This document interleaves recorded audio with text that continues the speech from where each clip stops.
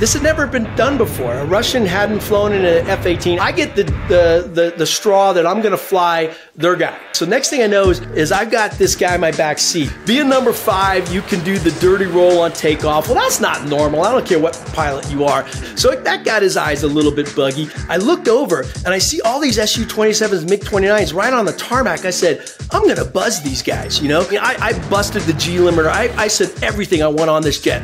Bam! Knocked him out.